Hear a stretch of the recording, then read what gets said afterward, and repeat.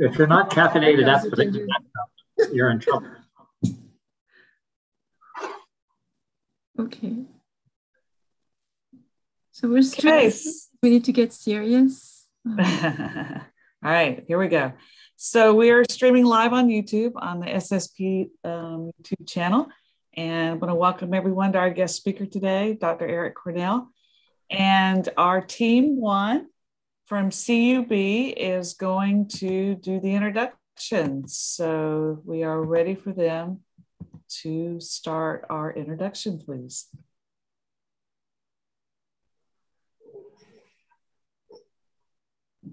Wow, dorky glasses. Okay. Hello, everyone. We are CUB Team 1, and we are grateful for having the opportunity of introducing Dr. Eric Cornell. Dr. Eric Cornell was born in Palo Alto, California in 1961, and two years later, he moved to Cambridge, Massachusetts, where his father was a professor of civil engineering at MIT. After high school, he enrolled at Stanford University, where he studied physics and took part in various low temperature physics groups on campus. He graduated with honors and distinction in 1985. For graduate school, he went to MIT, where he joined Dr. David Pritchard's group, which had a running experiment that tried to measure the mass of the electron neutrino from the beta decay of tritium. And Dr. Cornell obtained his PhD in 1990 from MIT. How cool is that? Uh, here's a little fun fact. Uh, Dr. Cornell's father used to help him calculate the, uh, calculate the center of mass of rockets that he designed. And his father even challenged him with uh, physics brain teasers in lieu of uh, bedtime stories. After obtaining his doctorate, he joined Carl Wieman at the University of Colorado Boulder as a postdoctoral researcher on a small laser cooling experiment. During his two years as a postdoc, he came up with a plan to combine laser cooling and evaporative cooling in a magnetic trap to create a Bose-Einstein condensate. And through his work at the Joint Institute for Laboratory Astrophysics, Dr. Cornell, along with Dr. Wolfgang Ketterle and Dr. Carl Wieman, was awarded the Nobel Prize in Physics in 2001 for the achievement and study of the properties of Bose-Einstein condensation and dilute gases of alkali atoms. Other notable achievements include that Dr. Cornell was awarded the Lorentz Medal in 1998. He is a fellow of the American Association for the Advancement of Science, and he was elected a fellow of the American Academy of Arts and Sciences in 2005. Dr. Eric Cornell is currently a professor at the University of Colorado Boulder and a physicist at the United States Department of Commerce National Institutes of Standard and Technology. His lab is located at the Joint Institute for Lab Laboratory Astrophysics. His research includes the Bose-Einstein condensate, other ultra-cold physics and electricity, and the electric dipole moment. Please join us in welcoming Dr. Cornell.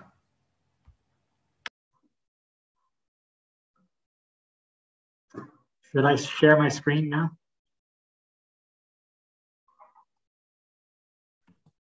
Yes, please. Let's see if this works. Okay. I move this little thing around. This thing's sort of getting in my way. There we go. Okay, so I'm going to be talking about looking for fossils of the Big Bang in the laboratory, which I really mean making very precise measurements to learn more about, about physics and, and astrophysics. Can people hear me okay? Am I loud enough? Okay. But I'm going to take the story back a little ways. And I know that a lot of you are in astrophysics summer camp, so this won't be a totally new story to you. But uh, right about 14 years before this lecture, there was, uh, well, there was no really better way to describe it than a bang. And, uh, and as the uh, creation hymn goes, the whole universe was in a hot, dead state um, and uh, was filled with many, many more particles than there are in the universe now. Electrons, protons, neutrons, sure, but also anti-electrons, anti-protons, anti-neutrons in an immense, a very, very dense and hot plasma then uh, the universe started to expand. And like a lot of things, like whenever gas expands, gas is, you know, the ideal gas law, you take the gas, you expand it, and things get colder. Same thing applied to the universe. It started to cool down. You can tell the universe is expanding because it's getting bigger, and you can tell it's cooling because it goes from red to blue, which is sort of a colder color. And then what started to happen is um, bit by bit, something very romantic happened. Um, the the um, each proton found an antiproton, and each electron found an anti-electron, and neutron and anti-neutron, so on, and they stuck together. Uh, each particle found its uh, true soul mate, and uh, these these joinings together were sort of passionate but sort of short-lived. The electron, the anti-electron would annihilate each other, poof, and protons and antiprotons pop, and all that was left would be photons. These these solid material particles like protons and electrons and neutrinos, they would meet their antiparticle and then bang. And this was happening all around the universe just a very short time after the Big Bang. But if you look very carefully, and I don't know if you, if you can see my cursor here, but every every here and there you can every here and there you can see like an electron, here's a proton, here's a neutron that somehow did not match up. so you might say that there was somebody, there was somebody for everyone except for a very few people or very few particles left over. So uh, the question is, who are these lonely particles that nobody wanted? And the answer is, uh, yeah, they're you. That's what the universe these days and all of us are made of is the very, very small number, like one part per billion of the electrons that didn't find an anti-electron. The only reason why we're around at all is that right at the beginning of the early age of the, of the universe, there was slightly, slightly, slightly more matter than antimatter. If this sort of symmetry, this sort of perfect matching of matter and antimatter across the universe had been more perfect, there'd be nothing left. And the universe would be a very boring place, just a big empty space full of photons, yawn, right? But as it turns out, we have all these interesting things, planets and galaxies and, and human beings and, and true love. So it's good. Uh, and it's important uh, that what was nearly perfect was not exactly perfect. So there's this imperfection at the beginning of the universe. And uh, not to get all religious, but we were born of this original imperfection. Uh, this is the doctrine of original imperfection you heard the 18th century preachers talking about. Uh, so how can we learn more about this? Uh, you know, there, there, are, there aren't time machines. Um, there are no uh, recordings. There's no papyri in which the, the, scribes of that age wrote about this 14 billion years ago. How can we learn and come to understand more about this maybe single most important imperfection that ever happened, the thing that allowed the universe to, to evolve into what we are now. And I sort of think of this as there's really sort of three different ways of looking back and understanding the very early universe and, and the particles that were there and, and how they came to, to, to evolve. And one of them is telescopes and related things. Uh, this is a telescope for photons. It's actually a concept of a, of a new telescope gravity waves um, detectors I include as under the rubric of telescopes. They're basically looking at gravity waves as they come in. So I'll call that a telescope. And these uh, similarly, there's these neutrino tanks that detect neutrinos being emitted in the sun and further away. And also, I, I think of this in the world basically as part of the world of telescopes. You can use a telescope for looking back in time. When you see a galaxy uh, that's 10 million light years away. You don't see it the way it is now. You see it the way it was 10 million years ago. Uh, the farthest thing away that we've ever seen, galaxy GN-z11, is 13.3 billion years ago. Remember, the whole universe is only 14 billion years old. So when we see that galaxy, we are seeing we're seeing the universe as it was when it was only 4% as it is old today. So we're looking back almost all the way to the Big Bang, but not far enough back in the sense that by the time there were galaxies forming, this weird imperfection where the electrons weren't exactly balanced by the anti-electrons. That had already happened. So that's not good enough for this question. Another way of looking back in time is doing simulations. What if we were to use a, a modern day machine to simulate, to create an environment which was kind of like the Big Bang? And that's really the idea between behind these super colliders, where they take protons and antiprotons and smash them together at phenomenally high energy. And they make briefly a sort of plasma of, of, of you know particles and antiparticles in a little dense ball, and they fly apart and are detected in this detector here, you, which you see a picture of. It's an enormous machine. Um, it's uh, many kilometers across. Uh, this is this is a track underground, sort of going back and forth. The, the particles go around; they go back and forth between Switzerland and, and France. Here is the detector they use for like seeing all these particles, and for scale, there's a person right there. It's maybe the largest scientific instrument that was ever built, and yet um, it's really uh, these days, um, this is not widely appreciated, but the Large Hadron Collider is perceived to be something of a disappointment by the experts. It wasn't able to answer these, this question I posed and other related questions about particle physics and, and cosmology. So um, it discovered the Higgs boson, but everyone knew that was going to be discovered basically. So this basically didn't work. And one day they might build a bigger one, but maybe not. This one already cost $10 billion in 20 years to build. They haven't started the new one. It will cost a lot more than $10 billion, maybe maybe $100 billion, and it might take 30 years, which is to say, you might start as a, a, career as a physicist more or less now and, and, and retire before this next machine is built. So that whole way of looking back and understanding new particles is between just us. And there's not very many of us here. I just see four in this window. So I'm sure we can all keep a secret kind of dying, that area of physics. So don't tell the particles. That's pretty much what's going on. So what else can you do? Um, how else can you look at it? And my uh, what I do is I look for fossils. You want to understand what happened to the dinosaurs, you look for their bones, uh, and you learn things about the dinosaurs from the, these fossils. So what were the fossils of the Big Bang?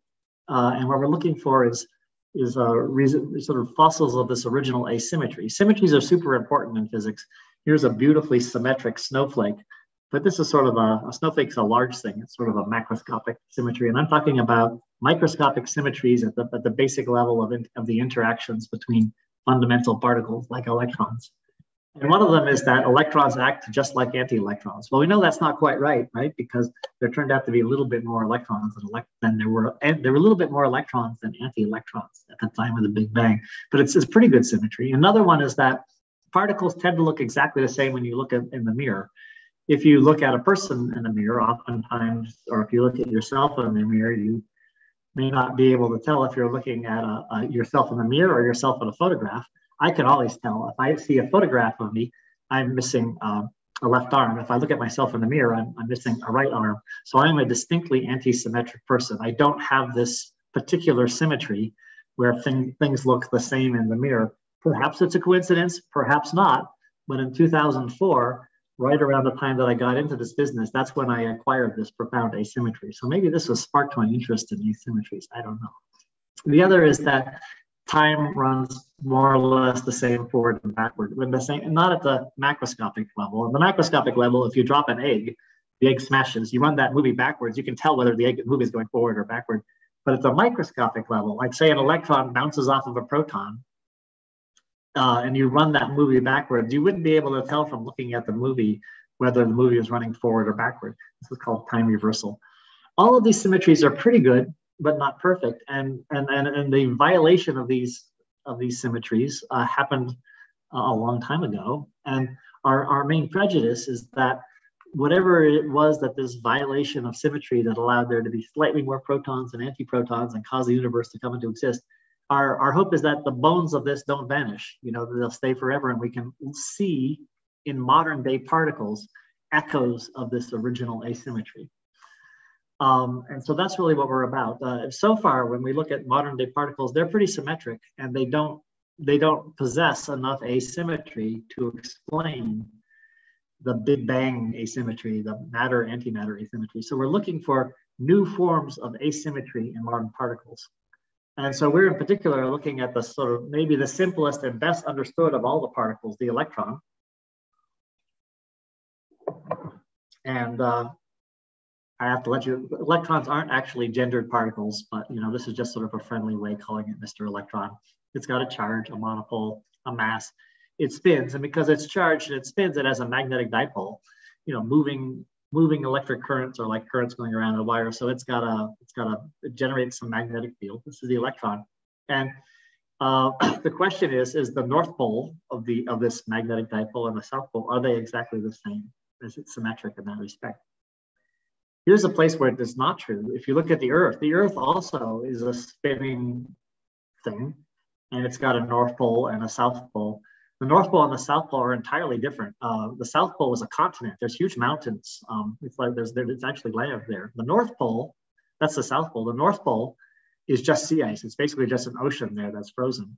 In the in the north, there's polar bears.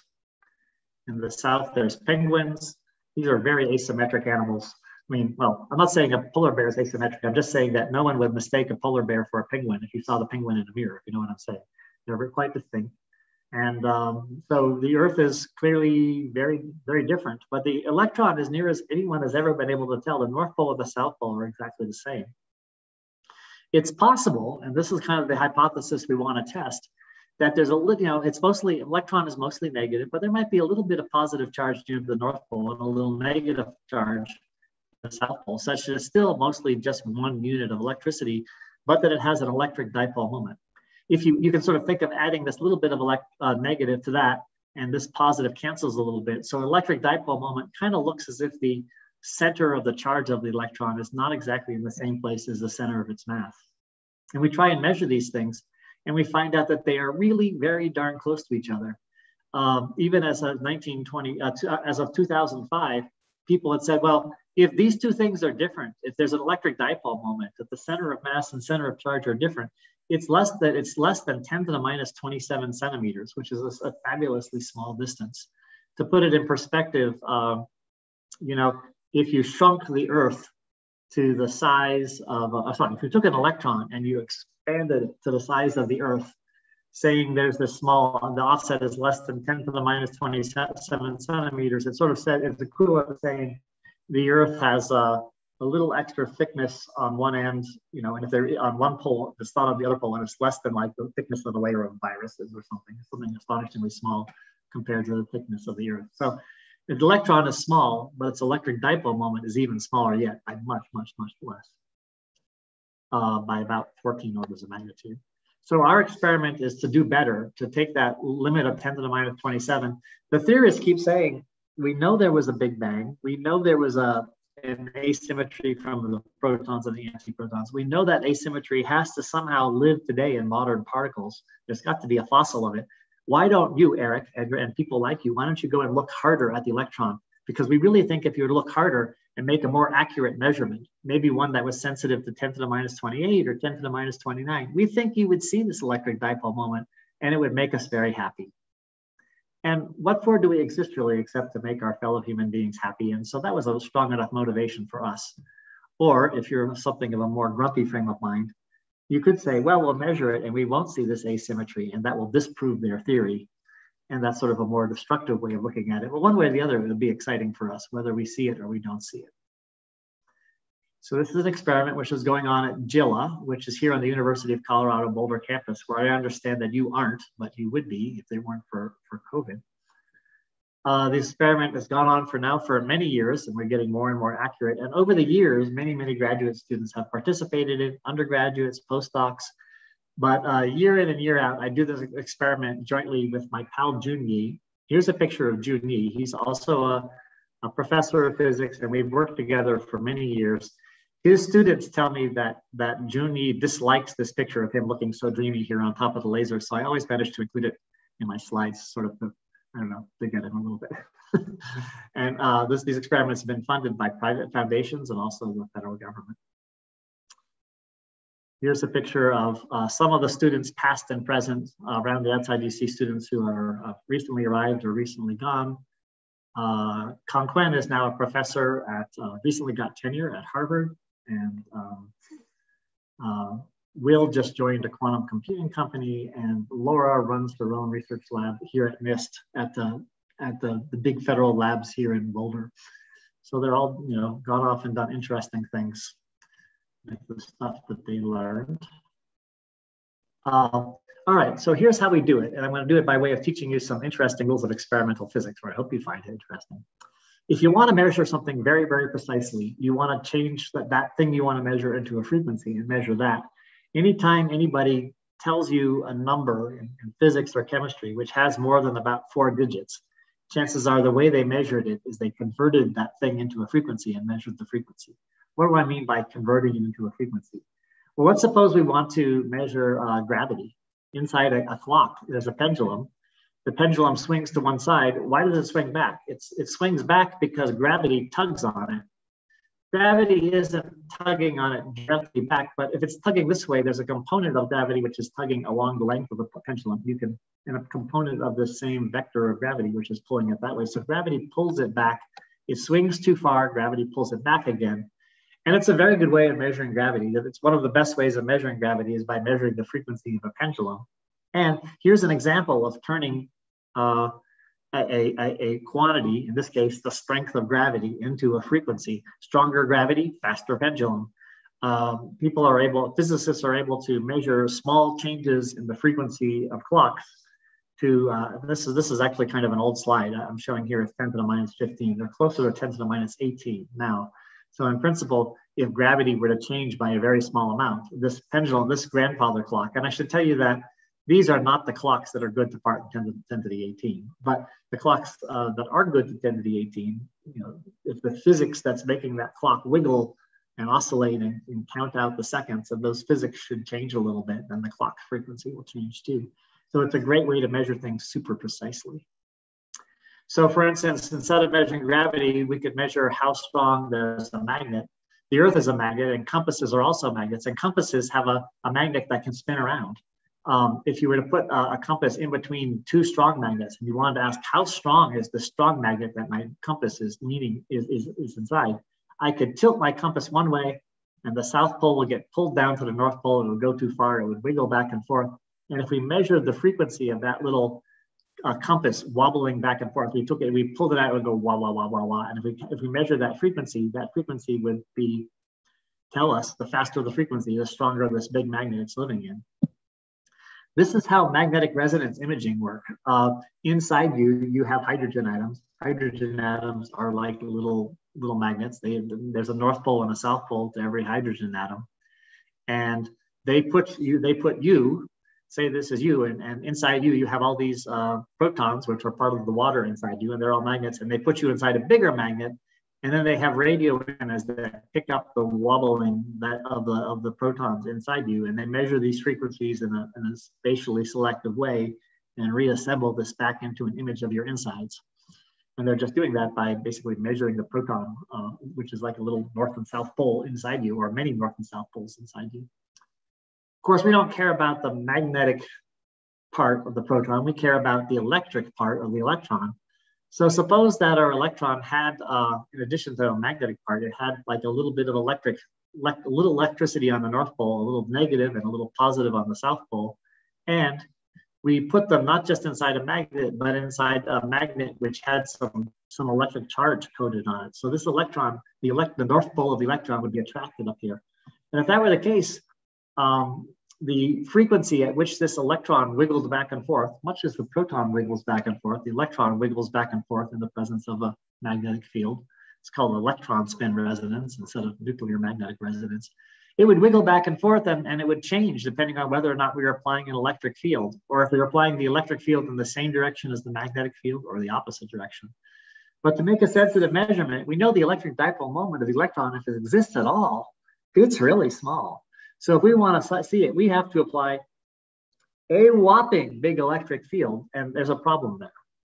One big problem is if you try to apply a really big electric field in, a lab, you just get sparks, like the electrons fly off of the negative. You have like two metal plates and you connect one to a high voltage negative and one to a high voltage positive, sparks fly, which is not useful. And the other thing, which is even more fundamental, is that if you put your electron, if you put your electron in a big electric field, what's going to happen?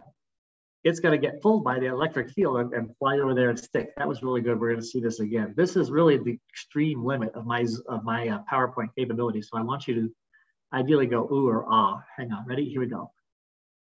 Wow. Yep, that's animation in, in, in PowerPoint for you. I'm not hearing the ooh and ah, and I assume that's just because you're you're muted. That's all right. Thank you. I saw. Ooh. Nicely done. Okay, Justin. Props. All right. So uh, so where, if we want to have a really big electric field, where can we find a really big electric field? Well, one place where electric fields live uh, and are very, very large, larger than you can get between two plates, is inside molecules. You took some chemistry, you know that sodium chloride, the sodium's positive, it's salt, right? And the sodium's positive and the chlorine is negative. You can imagine, because the sodium and chlorine are very close to each other, there's a very large electric field there. And if we could somehow put our electron right in between the sodium and chlorine, it would be experiencing a huge electric field. Okay, it turns out in a sodium chloride, it's got an even total number of electrons. All the electron spins are all paired up. We use, as it turns out, hafnium fluoride plus hafnium because it's a very heavy uh, metal, and fluorine because it's very negative. And so it gives you a very, uh, very strong electric field inside there. And there's some electron, the electron that's living inside the hafnium fluoride plus molecule uh, experiences that electric field. So we need a big electric field. What else do we need? Well, if we want to compare the frequencies, we want to come see whether the, the wiggle of the electron, you know, wobbling in some magnetic field, does it depend on whether the electric field is going one way or the other? We measure frequency really well. And this is another major rule of physics. If you want to measure a frequency really well, you want to measure it for a long time. Here we have two different grandfather clocks. And we want to know which one is faster and which one is slower. So uh, what we do is, well, this we well, we have a stopwatch and we, we count for one minute and we see that grandfather clock number one here uh, uh, ticks for you know 60 times in one minute. And so does grandfather clock number two. Well, 60 is the same as 60. That's not helping. We could count for an hour and one ticks for 3,600 times. So does the other. Can't, still can't tell. If we were to count for a whole day, we might find that one grandfather clock ticked about 86,000 times and finally, we were counting long enough that we noticed that the other one counted 86,403, one more tick. So if we want to compare these frequencies really well, we want to be able to, in essence, count the ticks for a long time. And this is a general principle in, in physics. If you want to measure a frequency really well, you want to be able to look at it for a long time. We've got our molecule and the electrons inside the molecule, and we want to see the molecule ticking we had to watch them for a long time. So we need to put the molecule in an ion trap. This is a trap for, um, for rabbits, um, but we can also make trap for ions. Instead of using uh, metal grid, we use these, we use uh, rods of metal, which we put charges on and oscillate in such a way that our, our molecule, which is also charged, is confined along sort of a line between these four rods, called an ion trap. Here's a picture of our ion trap uh, you can, it's hard to see because it's all coated with gold. Um, it turned out that the gold coating was like this, my bright idea. I thought the gold coating was going to make it work much better. It didn't, but it does make it look really good, especially against this blue background here. Imagine this is like lapis lazuli or something. Um, so it's a very nicely, very beautiful uh, ion trap. The gold was a stupid idea, but it's not the only stupid idea I've ever had. So there's that. And inside there, indeed, we can watch the electrons tick back and forth, and we watch them tick up and down, and they're ticking quite slowly. If you look at this, this is uh, milliseconds. So from here to here is about a second. And there's a very small magnetic field. So if you count it, there's about, works out to about 17, 16, 17 wiggles of it ticking up and down. We don't count every single tick. We sort of tick, we, we count these and we extrapolate and we count these and we, we figure out what sine wave nicely connects all of these wiggles and we see what frequency best fits that, and that's the frequency at which these, these uh, electron is wiggling. Um, how do we listen to an electron tick? It doesn't actually go tick. A grandfather clock goes tick as the pendulum swings back and forth, tick, and then sometimes talk. But an electron doesn't. So we use lasers. Um, I don't, I'm not going to be able to discuss this in great detail or any detail, but the way I, I'm an, um, I can tell you this story about particle physics. I can tell you the story about the Big Bang. The truth of the matter is, is that I'm a precision spectroscopist. My, my actual day job is I measure things like atoms and molecules very precisely using lasers.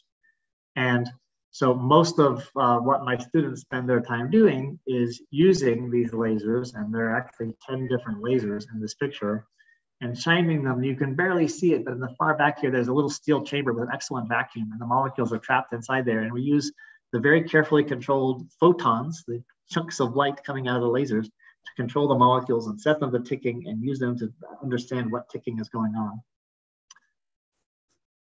Um, this is just to give you a sense that the molecule we use, hafnium fluoride, you can't buy it from a chemical company. It's a totally unstable molecule. It can only live in a vacuum.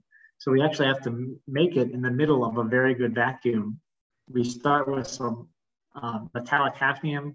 We actually melt and, and vaporize the, the, the, hafnium with a, a, very bright laser beam. The hafnium vapor mixes with some other chemicals, in our case, sulfur hexafluoride, and the, the hafnium strips one of the fluorine atoms off of the sulfur hexafluoride. hafnium fluoride atoms float along about a meter And when they get into the region right between all the electrodes of our ion trap, we hit it with a laser, knock off an electron, and now it becomes a molecular ion It's trapped there. We do these, we prepare its initial state, we set the thing to ticking, we, we listen to the tick and record it, and we do this again and again. Uh, I'm not going to explain how it goes because that would be like hours, but it's what we actually do. Um, and then we measure these frequencies. Um, we do it twice. Once we listen to it ticking, once we align up the molecule this way and measure the frequency, and the second time we line up the molecule the other way. So we're changing the sign of the electric field that the electron experiences, and we see if there's a change in the in the ticking frequency of the electron. Um, we spend most of our time trying to not just measuring it, but trying to figure out if we're measuring it correctly. So for instance, instead of keeping the ions exactly in the middle of the trap, we'll move the ions from one side of the trap to the other. This is just measured in millimeters, whether they're exactly at the center of the trap or these different colors corresponds to moving it up and down in, in the axial direction along the trap. And, and the various frequencies that we measure change. If our ion trap was absolutely perfect, built exactly the way we wanted to, these three lines would all be straight and exactly on top of each other. But they're not. And what that tells us is that we've built an imperfect ion trap, as everything is imperfect. And we learn how to correct for these imperfections. We know, you know, why these things are curved. We understand why they come together in a region which is not exactly at zero, but offset a little from zero. We know why these lines don't completely touch each other. So we learn a, a great deal about the the, we spent a lot of time studying the apparatus we're using to study the molecule. In some sense, using the molecule to study the apparatus is the same time as we're using the apparatus to study the molecule and try to make sure that we get the answer right.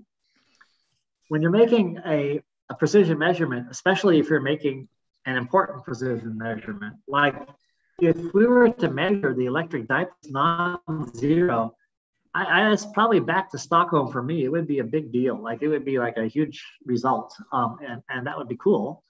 But it could also be wrong, right? And so you have you're doing experiments, and oftentimes you're motivated to see this result, and it's easy to fool yourself.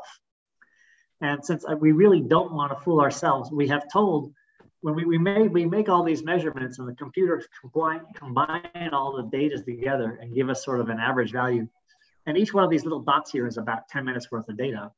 And you can see if we were to take the average of all of these dots, it would come up to an average which was distinctly not zero. This line is zero. And you might think, oh my goodness, that's the that's the difference in the frequencies. That's the electric dipole moment, except it's not. We instructed the computer that's analyzing this data for us to lie to us. We told the computer, after you've done combining all the data, add a random number and don't tell us what the random number is. And so all we really care about is are these points, you know, all more or less equal to each other? And when we decide that, yeah, our data is looking really good, it's really quiet, that constantly averages, no matter what we do, it always averages to the same number. We don't know if that this number here is zero or not, because the computer won't tell us what the random number is. But that's good. We instead of like deciding whether our data is good or bad, depending on whether it's telling us what we want to hear, we decide if our data is good or bad depending on whether it's noisy, depending on whether we make other measurements for self-consistency. It makes it much harder for us to lie to ourselves. It's not that we're dishonest people, it's just that we're humans and we're motivated by things that all humans are motivated by, and these can these can warp your thinking if you're not careful. So uh, there was a grand moment. It was like one of the most intense moments of my scientific career when we finally got all the group together, this was in 2017, the last time we made a really big measurement, and we told the computer, okay, stop lying to us, tell us the actual number. Um, and we were all, uh, we were all in the lab at the same time, and it told us, and if you zoom in, it said, yeah, the electric dipole moment is consistent with zero, and it's less than this this number. And so we were happy because this number was a much smaller number that had been measured before but we were a little bit sad that it was consistent with zero. We're, um, so here is a, uh, uh, sort of historical F, uh, historical plot. This goes back now 50 years. People trying to measure the electric dipole moment. This is a log plot here. So the measurement has gotten better by, you know, six orders of magnitude or whatever this is here over the last few years. And uh, this, you can sort of see that uh, the measurements were sort of kind of plateauing out here in the early part of this century. but then uh, the Harvard Yale group, um, who are, are sort of our primary competitors. And if you don't mind, when I say the word Harvard Yale, it, it'd be good if you kind of went like this. Yeah, yeah, good. Yeah. So anyway, the Harvard Yale group, yeah, measured this measurement uh, right shortly before we did, and then we made a measurement. Uh, and these aren't actual measurements of the electric dipole moment; these are limits. Basically, the Harvard Yale group said, if the electric dipole moment exists at all, it's less than this green dot. And a couple of years later, we said, yeah, we agree. We got the more or less the same limit. So that was fine for a little while, but then uh, about uh, three years ago, two years ago. Let's see here. Uh, oh, and the other thing about these two measurements is that they were, the theorists had expected them to be not zero. And because they were zero, they didn't agree with this, uh, everyone's favorite extension to the main theory of particle physics. Um, the main theory of particle physics is called the standard model of particle physics. And everyone thought, well, there's this new improvement to it called the supersymmetry. And uh, our because our our measurements don't really agree with supersymmetry, we helped uh, murder supersymmetry. We uh, we have no regrets. We make no apologies. It had it coming. It, it, flew too high, too close to the sun. You know, it was full of itself for many years. Like for 20 years, everyone everyone really liked this theory, but there was no data for it, and now there's data against it. Um, so that was a high point for us. Um, and that's fine, but then a little time goes by and the Harvard Yale group says, okay, we just made a measurement still consistent with zero, a factor of 10 better.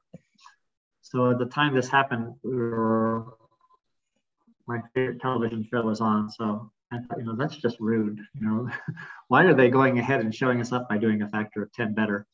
So uh, uh, we are in the process and we'll, in, sometime this year make a measurement which is also about as good as that measurement. We don't know what we'll get. You know, their measurement was consistent with zero, but maybe they screwed it up. Maybe the actual actual answer is not zero. We'll measure a number with the same size error bars, and maybe we'll get zero, and maybe we won't. But we're also a little bit tired of also always running sort of second in this race, and so we're building an elaborate new machine and brought some new students to think rethink the whole problem. We think somewhere around three years from now, we're going to have a much better measurement, which will be way down here. Um, so that by that time, um, there are, you know, after the death of supersymmetry, there, there other replacement theories came along. Most of these replacement theories do predict that the electron will have an electric dipole moment. So as we see it, we're either setting out to murder these theories, which would be fun, or else to see an electric dipole moment, which would also be fun. And so that's kind of our, our, our job these days. Uh, and I guess I'm gonna, at this point, I'm gonna stop and say thank you for your attention. And um, I'm really at your disposal. You can ask any question you want. You can ask about uh, this experiment. Uh, you can ask about cosmology and particle physics and astrophysics, remembering that I'm actually a laser physicist that measures things precisely, but I'll give it my best shot. You can ask me where my arm went. You can ask me what being a physicist is like. Everything is on the table. And so for now, I'm going to uh, stop sharing and pause for questions. I see there are many, many chat. I have to, I don't have enough mental bandwidth to look at the chat at the same time. So I could go and look at the chat or someone could like pick some interesting things out of the chat, whatever you want to do. You we have a, we have yeah. a team that's monitoring a document and um, they're going to ask you the questions on behalf of me. Okay. Uh, hi, Hi, Dr. Cornell. Um, our first question is, if anti-electrons are essentially electrons with a positive charge, what is an anti-neutron? Hmm. Yeah, that's a good question. Anti-neutrons are, they are a lot, they are a lot more like neutrons than, you know, that's a terrific question. They really aren't the same. Like an anti-neutron and a neutron is not the same. Um, but it's they both have zero charge. Uh, one way to describe the difference between a neutron is if you have a neutron just sitting there, uh, unless a neutron is embedded into a nucleus, a neutron just sitting there will decay. And when a neutron decays, it will become a proton, a, a and it will spit out an electron. So neutrons, just a free neutron sitting in a lab will spit out a proton, a heavy positive particle, an electron, a light negative particle. If you have an anti-neutron, if it's just sitting there, when it decays, it will spit out an antiproton, a heavy negative particle, and an anti-electron, a light positive particle. So one of the easiest ways to tell if you're dealing with a neutron or an anti-neutron is to wait for about 10 minutes. And when it decays, is the heavy particle positive or negative? Is the negative particle negative or positive? And that will let you know whether it's a neutron or an anti-neutron. Interesting question, yeah. So our next question is, um, think about combining physics with philosophy or other liberal art topics? For context, I read your writing about what God, what was God thinking in a theology class a few years ago and found your idea that intelligent design shouldn't be explored in physics very interesting. Yeah, I wrote that article for uh, Time Magazine years ago. Um, yeah, I think it's I think it's great. I my my personal opinion is that uh, you know physics has been around for a long time. Uh, it was a lot of other sciences disciplines are much more modern. The, the problem that we the problems that we thought were interesting in physics in the 1920s or the 1950s, those problems have all been solved. Um, so physics remains interesting by moving into, you know, identifying new questions. And uh, I think some of the most interesting physics is sort of at the boundary of physics, where physics overlaps with chemistry or medicine or biology or astronomy um, you know, I think these are like the most exciting areas of physics, physics, hyphenated physics, physics something. And uh, yeah, the philosophy of physics, these, these are interesting topics, I think. Um, and people have used, even people have even used uh, physics ideas, uh, sort of statistical mechanics and thermodynamics ideas to try and like understand the behavior of stock markets and things like that. They call it econophysics, econo hyphen physics. I, I think all these things are great. there are some people who believe like we need to maintain the purity of the discipline. And I say the heck with the purity of the discipline. If we were a pure discipline, we would have died 50 years ago. You know, um, uh, the the stuff that's sort of considered like you know some of the most interesting physics these days is like solid state physics. And back in the 1930s, solid state physics was considered very suspect, very sort of frou-frou, very, very, very technical, you know, not really relevant. These days it's considered some of the most, you know, now the solid state physicists think that they're very pure and they and they look down their nose at the biophysicists and I just think they're totally nuts, right? So uh, don't listen to them. Don't go into high energy particle physics because it's dying. Um, but there's a lot of cool physics which isn't dying. And that tends to be around the edges.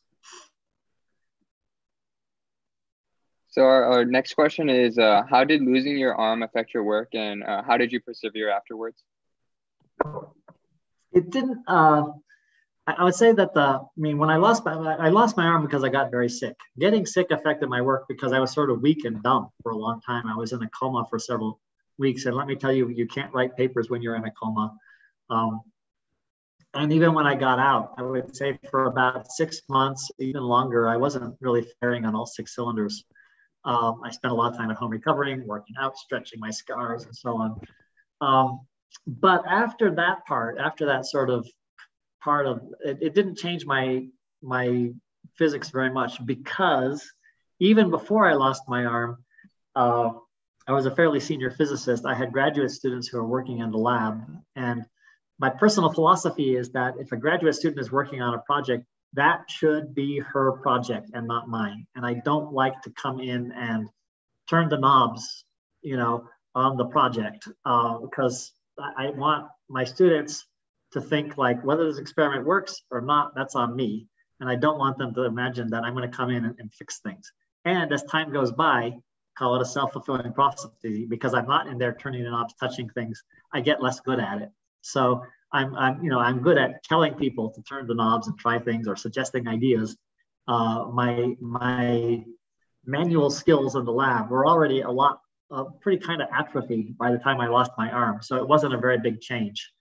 Every once in a while, I'll go into the lab and there'll be like a summer student there, like a summer high school student, and you know, I, you know, I tell them like, you know, with that soldering iron, you really want to hold it on the blue part and not on the dull gray part. The dull gray part's going to burn your hand. You know, the blue part, the part you hold. You know, or you really need to heat the metal, not the solder. And I try to so show them how it's done with one arm, and the results are predictably comical. You know, I end up, I end up burning myself and trying to show them how not to burn them, them themselves, just because, you know, trying to like soldering really requires a good job of soldering requires three hands, um, and one is just not enough. So um, it doesn't change things that very much. I was in the lab actually, physically in the lab on Friday because we were we had just had the, the lab remodeled and like it was a big team building exercise.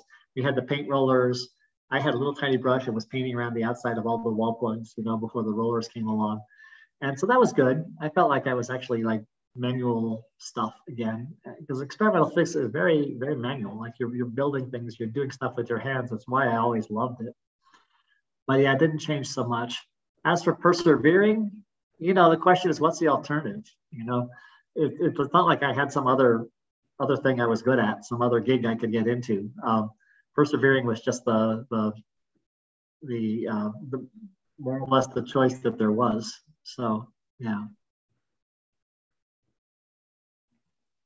Um, our next question is: Would you would you prefer to murder further theories or find a dipole moment? Oh. Well, officially, I have to say I have to prefer to murder further theories because that is a way of insulating my psyche against disappointment. but the truth is, I'd love to see an electric dipole moment. Yeah, I can't lie. That would be really cool. Um, and so I, I, I enjoy the you know setting the improved limit like that. That really makes me happy too, but not quite as totally thrilled as it would be as to actually see a positive result if we did, the thing is that's if we, especially if we, we publish a paper saying we, we measured it, it's not zero, here's what it is. It's kind of like speaking of paint, like dipping a, your brush in red paint and drawing a bunch of concentric circles on your back. Like everyone's going to try and shoot you down saying like, no, you measured it wrong. Uh, so it'll be, uh, it, it will be like your next few years after you measure, it will be sort of defending that result as it should be because it's a really big deal and it really would be easy to screw it up. So other people will try to reproduce it. Uh, you need to check up on their work and back and forth. So there's a certain amount of rough and tumble there, which is part of the scientific method. If you measure zero, there's less controversy. Uh, although it's not clear to me that that's really correct. You know, the Acme group, sorry, the Harvard Yale group, Harvard Yale group, yeah. The Harvard Yale group uh, recently measured this value, which was a very, very small error bars consistent with zero. It could be wrong and we'll soon have our own measurement, same similar size error bars. And if we measure and me measurement, which is if we measure an answer which is not zero, our official position will be that they messed up, right? Uh, that they, you know, they made a small error which canceled out the actual electron dipole moment and got them zero. And uh, and that will be, I would look forward to that um, discussion. And plus, you do more measurements. You got a third person to check check over all the work. Yeah, yeah, but sure, it'd be fun to see an electric dipole moment, but it's also fun to murder theories.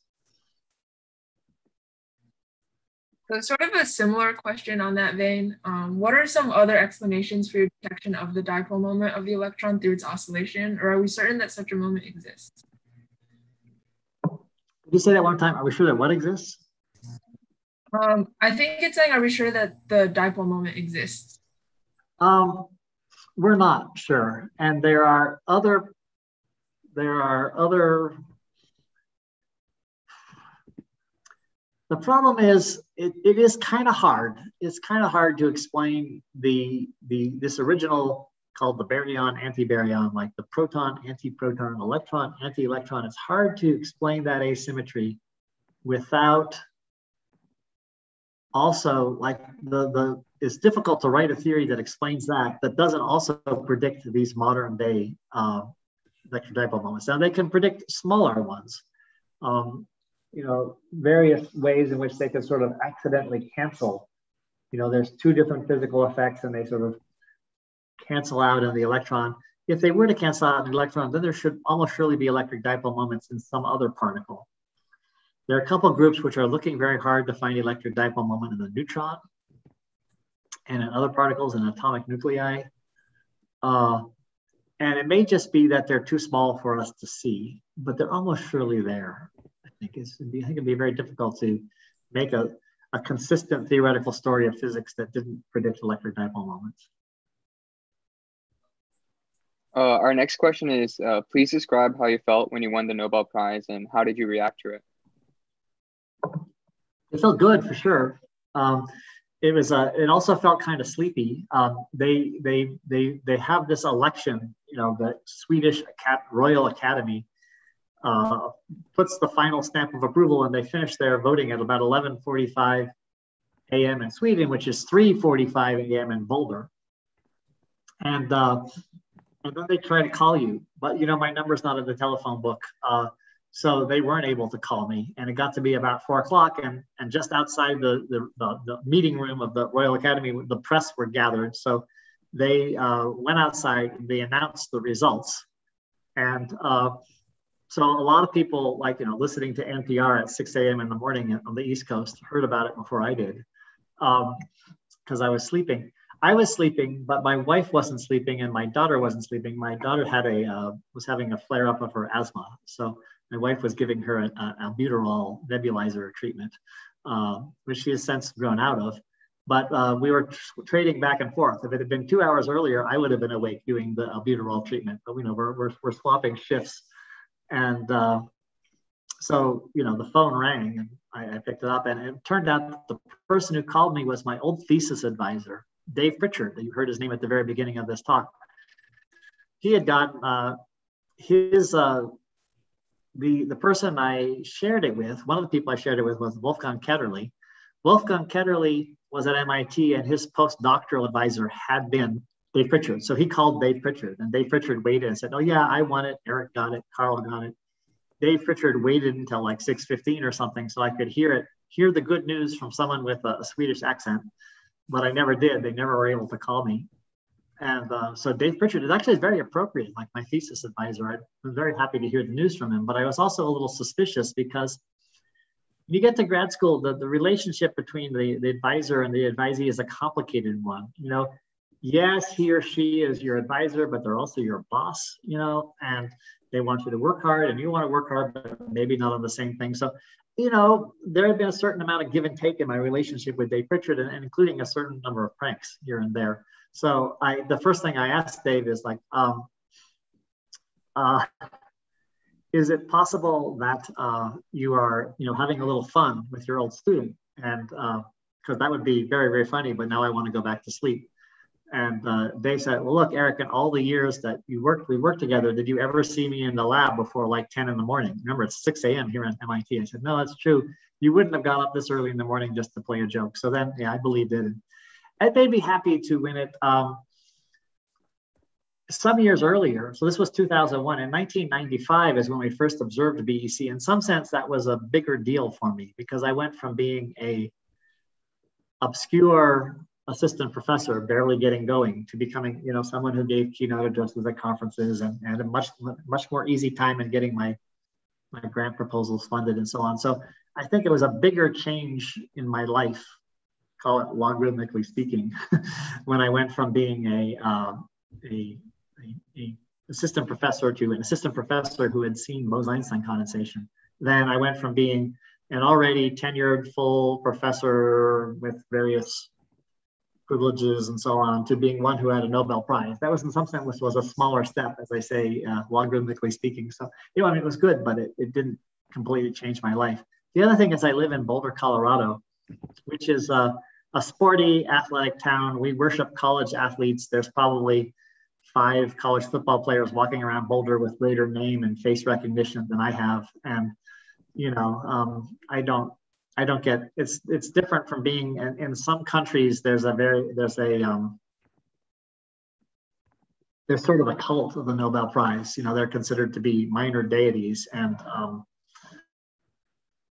uh, that's not, and that I think would be kind of a drag. um, so it's it's good. I don't have to. I can I, I could briefly I could go to Stockholm. There's a big party. I was briefly a celebrity. I could come home and go back to being just sort of a, a regular person, which is kind of how you I would prefer to live my life. Um, our next question is, could you describe your work with Bose-Einstein condensates, what they are, and what did you do with them? Uh, so Bose-Einstein condensates uh, are uh, very cold. Uh, basically, they're you know they at the time they we saw them they were the coldest stuff in the universe. Um, and as you get things as you get gases colder and colder, you know, the whole notion of quantum mechanics is that everything acts partly like a wave and partly like a particle. And Bose-Einstein condensation is sort of the, as you get colder and colder, the wavy aspect sort of dominates over the particle aspect. And Bose-Einstein condensation is kind of, kind of like the triumph of the waviness. So we, we cool a gas to a, a few tens of nanokelvin, so a few tens of billionths of a degree within absolute zero. The atoms, their, their thermal velocities are like a millimeter per second or something. They're barely moving. They're very wavy, and the wave of one atom overlaps with the wave of the other atom, and they form this single, like a like a highly gelled Reagan-esque pompadour kind of. Uh, all the way, all the pairs are doing exactly the same thing, like except they're not hairs, they're atoms all sort of doing this wave. And it's uh, it, the texture is kind of like it's it's very very low density, but the texture is sort of like Jello. It's like sort of goopy stuff, and it's a superfluid. It can flow through small holes without uh, without uh, dissipation, without friction. Uh, has many other sort of surprising uh, features. So um, yeah, that's a. I mean, that's a. In some sense, I could have given you the talk about Bose-Einstein condensation instead, except that that was uh, 25 years ago, and I, am a little I'm a little bored with it. it's like you know being in the being being Astrud Gilberto and and you know, someone ask, always asking you to play "Girl from Ipanema." You know, yeah, it was a great song, totally totally kick-ass song. But like you probably, if I were Astrud Gilberto, Gilberto, I'd probably get pretty tired of singing. It, so. Um, so this is my own question. Um, so when you trap the electrons in that electron trap, does that generate Cooper pairs and is that how the superfluid is formed? Um, okay, so the superfluid, just to be clear, like I've talked about various different things. Uh, the, the, the EDM experiments where trapping ions, um, there's no superfluid. So the, the electron is actually just, it just, we're just using a molecule which already has an electron in it we're trapping the molecule, the molecule's got an electron, and then we're doing the, the resonance on the molecule, and nothing is superfluid. It's not even especially cold. It's about 10 degrees Kelvin, which is to say minus 263 degrees Celsius. And I realize that sounds hot to you, but from my point of view, it's, uh, you know, it's only it's only 20 degrees, only 20 times colder than room temperature, but it's about a billion times hotter than where I usually operate in for my Bose-Einstein condensation. So 20 degrees Kelvin for me is essentially room temperature. So these are warm experiments, the EDM experiments. The superfluidity happens in Bose-Einstein condensation. And um, you were asking about Cooper pairs. Uh, so electrons have spin one half, and, and in order to, for a superconductivity, they have to pair together there is an analogy to that. My Bose-Einstein condensation that I worked on used atoms which are called bosons, and they don't have to pair up. Uh, my longtime colleague here at the University of Colorado, a woman named Deborah Jin, did, did the sort of things I did, but did them with fermionic uh, molecules, atoms. Had to make the atoms much, much colder. Also saw superfluidity, this time by the atoms pairing up a la BCS super, superconductivity and so uh, she um, she was sort of a she became sort of an international superstar doing this much harder experiment than the experiments I did. She tragically died actually in, in her late 40s. It was very it was just tremendously sad just a few years ago, and uh, I'm not over it. uh, we we had worked together for many years. Um, so, um, but that's a sorry that took a dark turn. Yeah. So um, yeah. So that's uh, the, there is an analogy between these Cooper pairs and stuff with cold atoms, but not in the Bose-Einstein condensate. Instead, in the in the degenerate Fermi gases is the phrase they use to describe Debbie's work. Uh, so our next question is, what are your thoughts on the origin of the universe and the matter and antimatter that was in it?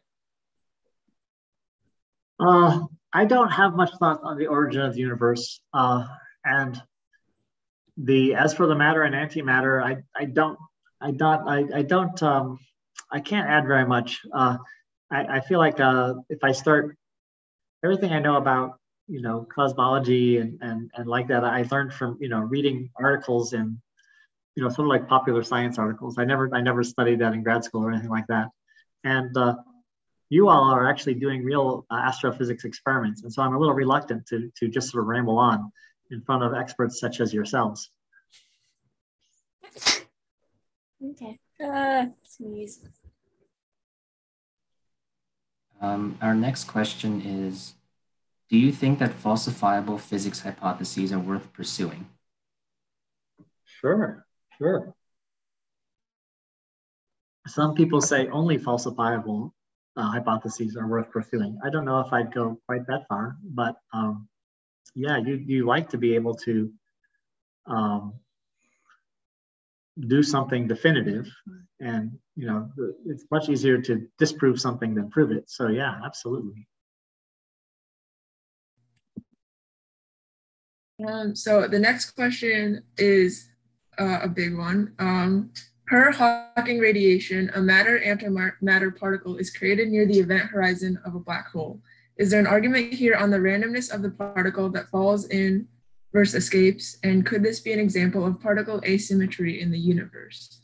Oh, yeah.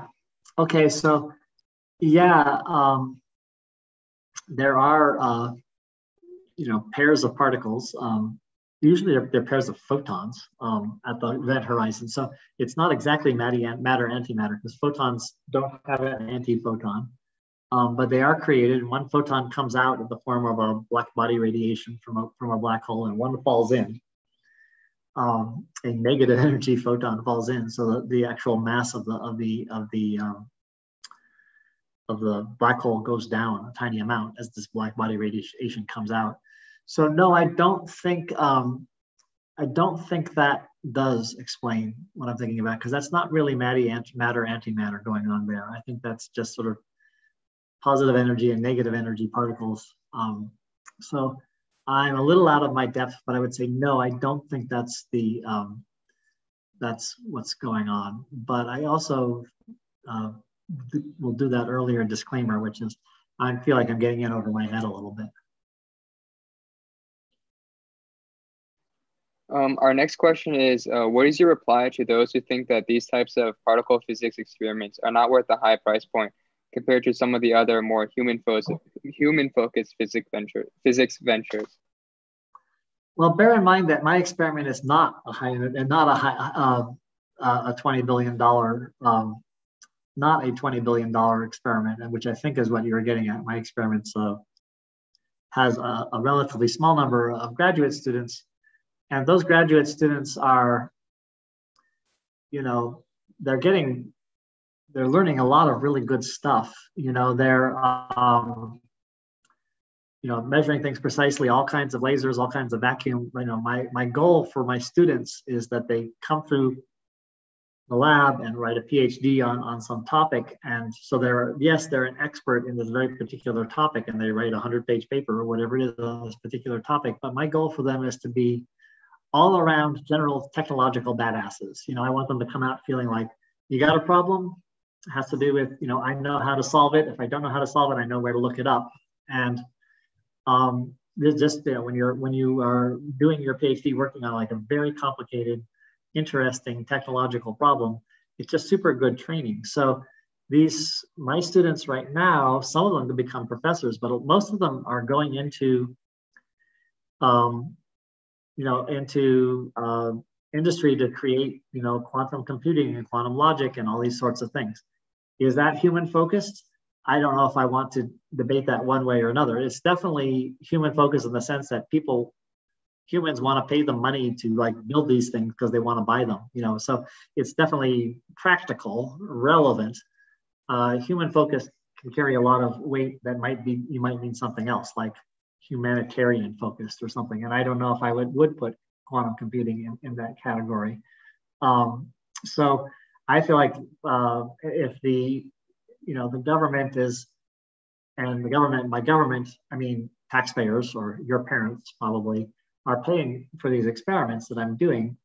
Um, and I feel what the country is getting for it is, yeah, the papers I write explaining whether the electron is electron dipole moment, but much more so what they're getting for that is absolutely sort of crackerjack, top of the line technologists, you know, small scale laboratory based technologists and you can't really learn how to do that in a class, you know. Um, so um, I think the country is getting good value for the money. Um, of course, I'm, I'm, I'm biased for it. Um, certainly, my students get hired just exactly as fast as I can sign their theses. Um, our next question is, what do you think about theorized Majorana particles?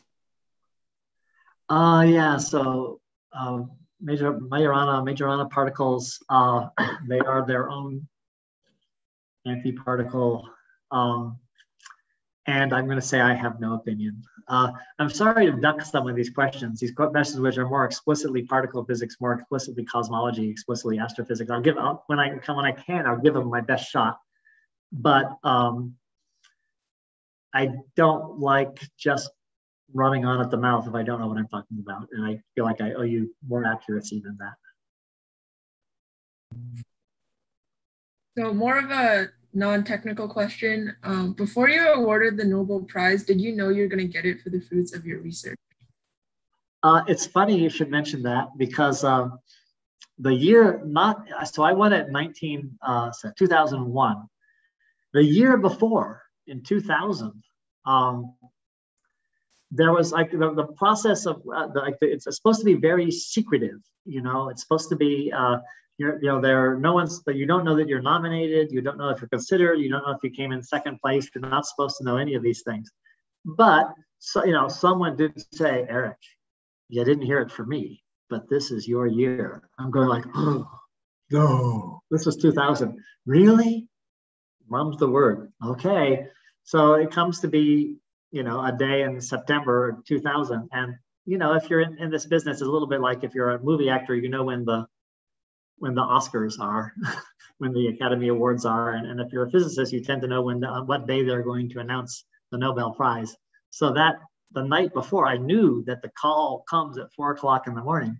So I had trouble going to sleep, and I dreamed that I would have this dream that the phone was ringing and I wake up and the phone wasn't ringing. And then finally I woke up, it was daylight, right? It was like 6 a.m. and the 4 a.m. and come and gone. And I said, Eric, you are such a schmuck. I can't believe you fell for that. You gullible son of a bitch.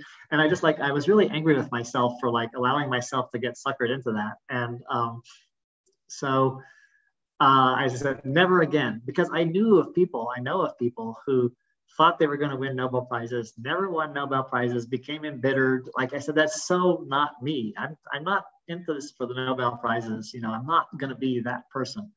And so the next year, um, 2001, when I did win it, like two or three days before, I get a call from the university publicity people. And they say, well, we've been hearing these rumors and we don't want to be caught off guard. So we want to make contingency plans for you to have a press conference in case you should win. And I'm going like, you know, talk to the click, you know, click. and um, that was that. And so I slept like a baby, uh, except for uh, two hours earlier, I got up to do the albuterol treatment, but at 4 a.m., none of these weird dreams. I was, I was over that. I was pretty sure that that was just a fantasy.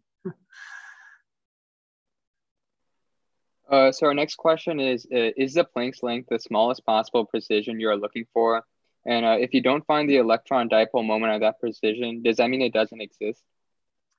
Well, um, before we get to the Planck's length, uh, I should say that in existing particles, um, people already know that some, some existing particles have some asymmetries.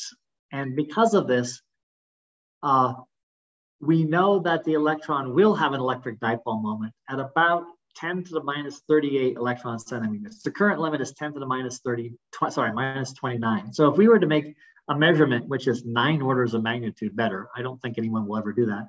We know we would see an electric dipole moment, but an electric dipole moment would not be very interesting. It would be the consequence of particle physics we already know about. And, and so um, it wouldn't be like a, a, key to understanding new particle physics to explain like the asymmetry of the Big Bang and so on. So um, that length scale is uh, doesn't doesn't require invoking you know Planck scale physics or anything like that. So uh, I would say short answer is uh, no. Um, uh, I'm not sure I want to say that the Planck scale is the smallest possible length, I do want to say that we are we know for sure that things that happen on at that length scale, you flip it over, you get a momentum scale, that momentum scale, that energy scale, that all of our existing physics won't work there. So I would say that that's a, a, a threshold for absolute confidence. I mean, we know with absolute confidence that none of our existing physics will work at that point.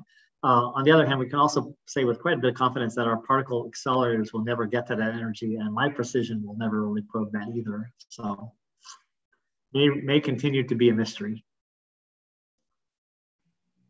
Um, next question is, what inspired you to begin research in particle physics as opposed to other fields of physics or chemistry? Really, I was inspired to get into, uh, it was called AMO physics, atomic molecular optical physics. Um, and, you know, I loved the, the, the sort of the, the control you could have, the fact that you could sort of make individual atoms and electrons sing and dance and, and you know, line up like trained bears at a circus or something like that. Uh, uh I was, I was, I was, I thought quantum mechanics was cool. Quantum mechanics between interacting particles, totally cool. Um, and it just happened to be more or less by accident, if you like, that it turned out that the kind of physics I was doing yields very high precision. And precision, I should come back to this, it sort of takes me back to the beginning of my, my talk. Precision is sort of the third leg of the three-legged stool. You've got telescopes, you've got accelerators, and you've got precision measurements as a way of getting at new particle physics. And so I came to precision measurement from the from a very non-particle physics route, I mean, being, being an AMO physicist. But one of the things you can do with precision measurement is you can probe for new particle physics. So for me, it's more like I had a hammer and I'm looking for a nail. And um, my hammer is like, you know, very, very precise spectroscopy. And the nail in this case was particle physics. So um, I wasn't wasn't coming to this from the idea that I never got into this thinking that my goal was to do particle physics. Um, so the next question, what theories do you wonder about that can't be proved using your field of research? For example, you're a geologist wondering about the stars.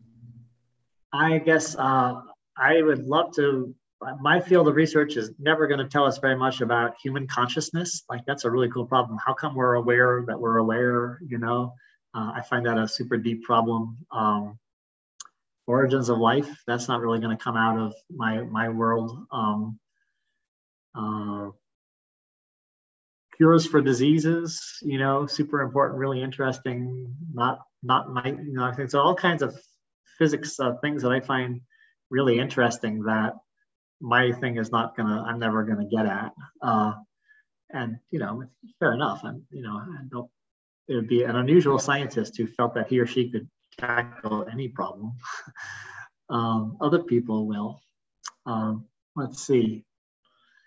Uh, i think there's lots of questions in uh, like the developmental biology like how a little this my brother works and this is why i think about it how this little bundle of cells you know, which is like that. You the the original egg is divided like ten times. It's like a thousand cells. It's like a little ball. How does that little ball eventually develop into a mammal? You know, it's it's it's my my brother knows a bunch about this, and he he tells me these stories, and they're really cool. Um, he works with zebrafish, which are not especially interesting as fish, but they're interesting because they're uh, up until they're like a month old, they're transparent. So you want to see how they're developing, you just look at them. You know, you can see right through them, and um, so they're a great model for learning about development and, and vertebrates, not mammals, but you know things with backbones like we have. Um, our next question is: uh, If you had the opportunity to research your career now, what field of physics do you think has the most potential, or is the most or is the most exciting? Um, I tried to get at that a little earlier. I think some of the hyphenated areas of physics are pretty exciting. Um, I think uh, the uh, and conversely, I'm sort of somewhat wary of the pure purist physics um, questions because I feel like we've uh, the new pure physics questions will be you know tomorrow's pure physics questions will be today's hyphenated physics questions. So, uh, but I don't know which of those areas in particular I would get into, and um, I don't know what's going to be like the really exciting physics question of, of five years from now. If, if, if I did, why would I tell you I'd be setting up to do it myself?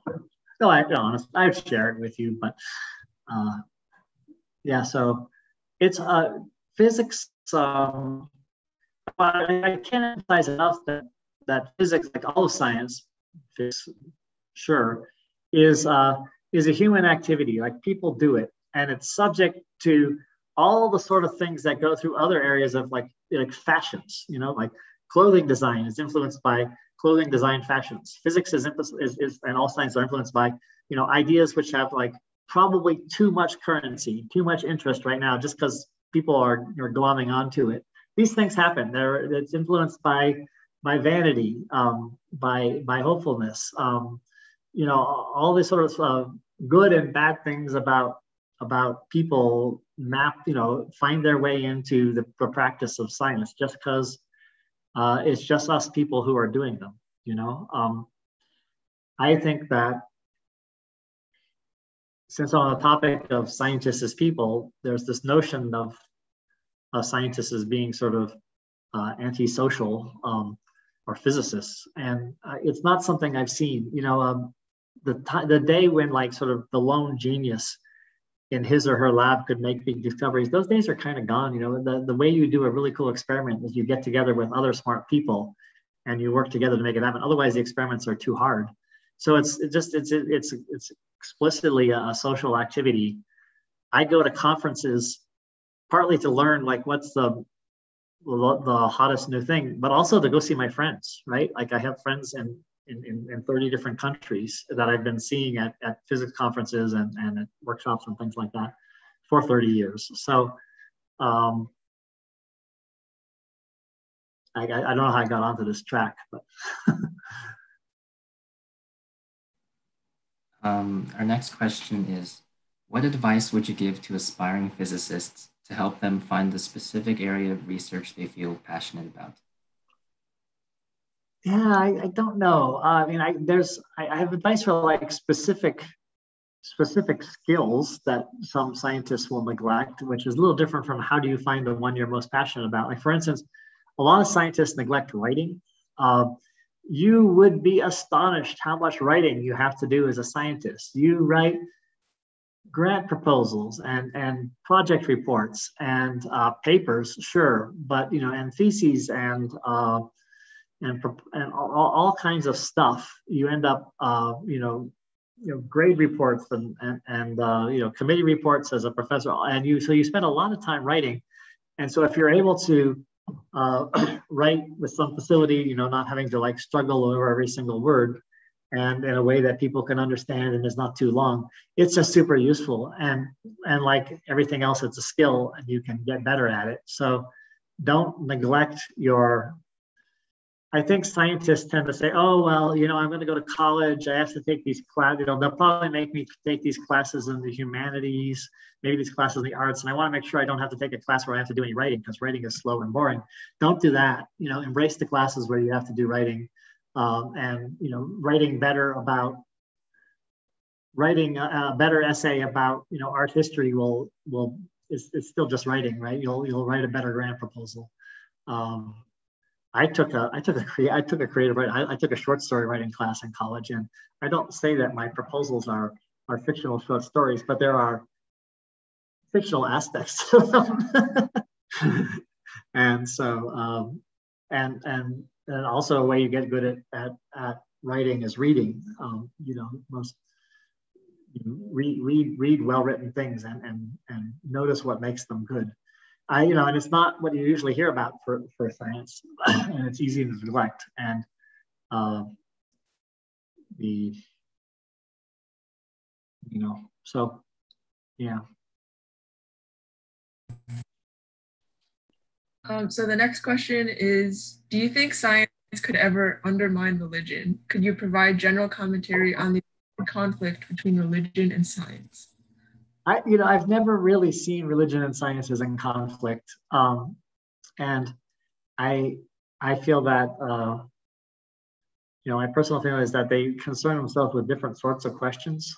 Um, it's true that uh, sometimes either science or religion kind of gets pretty far out of their lane. You know, um, we have examples of of uh, Galileo being persecuted or something like that for for proposing a certain you know model of the solar system but I, I feel like those are those aren't intrinsic to religion or intrinsic to science, you know. Um, and uh, so I I sort of feel like if you're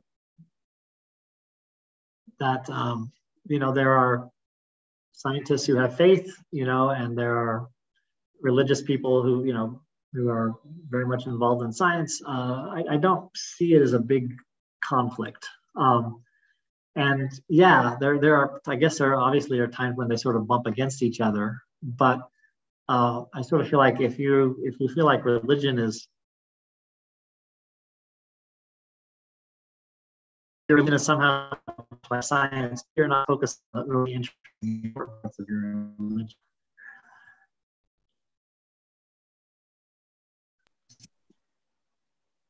Uh, the next question is Do you think any of the attempts to quantize gravity, such as string, string theory or loop quantum theory, have any uh, promises?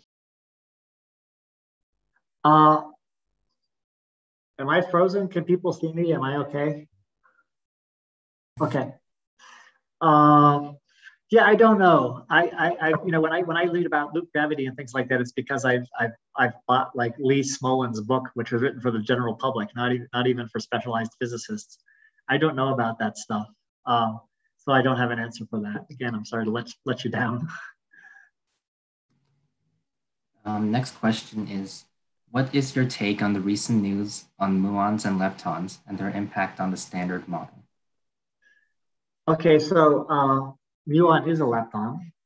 And I think this question might be about uh, you know, I was talking about the electric dipole moment, but electrons and muons also have magnetic dipole moments. A muon, for those who don't know, is just like a big fat electron. It's a, it looks, it, it acts just like an electron, except it's about, I think, 300 times heavier, or something like that. I might have that number a little wrong. And uh, it doesn't live as long as an electron. But like an electron, muons have a magnetic moment, and you can measure that magnetic moment. And recently, a group in um, Illinois measured the magnetic moment of the muon and found that it didn't agree with, with theory. And so their assertion is that there's some new particle physics that explains this discrepancy. Okay, uh, it's, I'm not sure I believe it. Uh, it's not like I, I, I, admire the I admire the experiment. I think it's, it's just that it's a, it's a very very difficult experiment, and, and the result so far is not uh, could easily be wrong. Um, and so I feel like this is an experiment that needs to be done by other people, needs to be done again in different ways in order to sort of track down possible disagreements to see if it might just be an, a random effect. Uh, it could be a big deal and it could be not. Um, so, but it's definitely it's definitely exciting. I, I, I, actually sat in live on the press conference where they announced their results, um, and it's big in my field. Uh, but I, I, guess I'm not totally ready to say, yeah, I completely believe it. So this it's, it's happens often enough that these first efforts to see something turn out to be wrong. It's not a not an indictment of uh, physics or the experimental process. I mean, in some sense, the whole experimental process is everyone piles on, looks more carefully, checks it out, and if it is wrong, that's sort of like physics and science working, right? Uh, uh, and if it's and if people if it really checks out, people will have more and more confidence in it. And then over the course of a few years, it really will become like something which people think is is definitely real. That'll probably take a few more years. Um, so the next question is, uh, is time reversal the same principle that requires operations on quantum states to be reversible? Ooh, Okay, that is an interesting question. You want operations on quantum states to be reversible because you don't want dissipation. Uh, and um, uh, don't rush me. It's they're they're uh, yeah yeah yeah. That's a cool question. Um, I want to say I want to say no. I think you have you could have this microscopic time reversal violation and not have it cause a lot of problems for quantum physics. It, the, the, the, the, you know, the, the, the, when they reverse operations and they don't reverse well, that problem basically isn't time the time kind of time reversal uh, violations that I'm referring to. It's more um, what's called decoherence, basically your quantum system talking to a larger quantum system and exchanging information and energy and so on, so forth back and forth. I think you could have, you could do quantum computing with particles that are intrinsically time reversal violating. That's what I'm, I'm going to go out on a limb. Um, it's first time I ever thought the, thought about that question, but I think that it's there's sufficiently different ideas that I think uh, that's what I think. Uh, the next question is, are you still in touch with Dr. Ketterle and Dr. Wieman? You bet. Yeah. Dr. Uh, Carl Wieman's like uh, one of my best friends. Uh, we, we, uh, um, my wife and Carl and his wife, we have uh, like the four of us have like Zoom dinners sometimes. You know, he lives in California now. I haven't seen him in person in going on two years, but uh, uh, so Carl and I work together, and yeah, so we we're still good good pals. He's gone on, you know, I don't do BEC anymore. He doesn't do BEC anymore. Uh, so we've gone on, our, int- our intellectual interests have sort of diverged, but we're still pals. Uh, Wolfgang Ketterle uh, was originally my, my competitor, right? Carl and I and Wolfgang were on different teams, if you like, trying to see Bose-Einstein condensation. Uh, maybe for that reason, I don't have quite as close a relationship with Wolfgang, but he's an excellent guy. Uh, you know, if we're in town at the same conference, we'll share a beer. Um, and uh, he's uh, last time I saw him was on Zoom, and for some reason it was not very long ago. I remember, you know, just exchanging a few, you know, happy words with. You know, we were at some some event. I don't remember what it was. So yeah, um, definitely very contact both of them. And if I'm in if I'm in Cambridge, I'll look up Wolfgang. You know. Um, could you please elaborate a bit more on lasers and some of the specifics of how your specialization comes into play with your experiments. Yeah, well, lasers are, are huge in physics. They're, they're used for many, many different things. They're just such a, a general tool, and, and there are so many different kinds of lasers. It's hard to say anything too general about them, but you know, they're sources of, of light, which can be very powerful in some cases, very intense, in other cases, very fast, you know, very, very um, okay, it said the recording stopped. Should I, does that mean I should keep talking or does that mean anything? Um, that was because I hit something that I shouldn't have hit when I was. Oh, okay. I apologize. Not at all. Um, and uh, not all these things apply at once. Some lasers are really quite weak, and what they're good for is, is defining a really well precise, uh, real, really well de defining a really well defined frequency. Um, so there it's hard to say one general thing about why they're so important and useful in experimental physics. Um, in, in our case, we use them to, you know, basically the, the molecules have internal states, you know, they're, they have a certain amount of vibration, a certain amount of rotation. The electron is lined up with the fluorine nucleus or anti-aligned with the fluorine nucleus. And the lasers can go in and change those things very delicately, like do nothing to the molecule except flip the electron over with respect to the nucleus or cause the molecule that was vibrating at one speed to vibrate at another speed, or cause it the molecule that was rotating to rotate slower or faster, depending on how you, you tailor the properties of your laser. So really the lasers are kind of like our, our, our robot controlled fingers. Uh, my fingers are far too pudgy to reach in and grab a hafnium fluorine molecule and do something to it. But I can, I can touch the lasers and the lasers can do that. Um, I realize this is kind of a qualitative uh, explanation, but it gets pretty involved. It would be the sort of feel of like using lasers to control and probe things is, uh, you know, not just one graduate course, it's many graduate courses. I know because I've taught some of them. Is there something intrinsic about measuring oscillation frequencies that makes that parameter easier to characterize at higher precisions? Yeah, I think it is. I think it's because you're just counting. You know, uh, you basically an oscillation frequency is a wiggle, and and you know when you count, you can can count.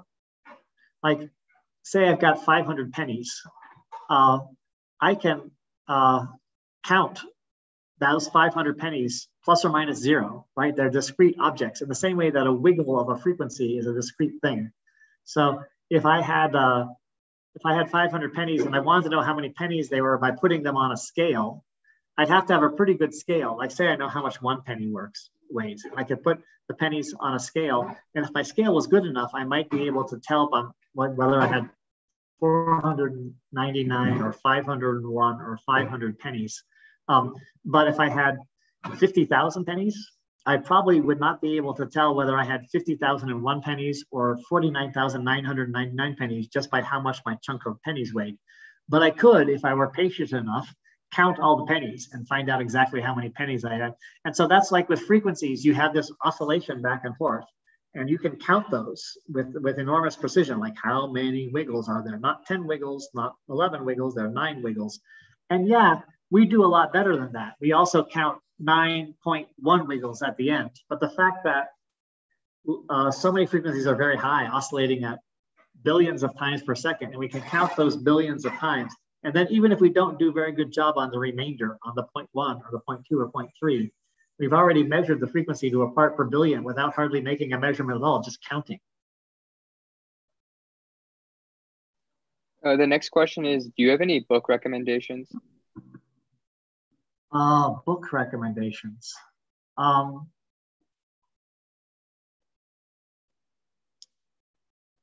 no, I don't. Uh, I don't know that I have a good book recommendation. I recently read City of Thieves by David Benioff. Benioff is the showrunner for um, Game of Thrones, and he wrote a, a, a, sort of a fictionalized novel on account of living in, in St. Petersburg during World War II. Terrific novel, you know, but it had nothing to do with physics. uh, then I also recently read another novel called Inherent Vice, which is by an American author called Thomas Pynchon. Also, really, really, really excellent novel.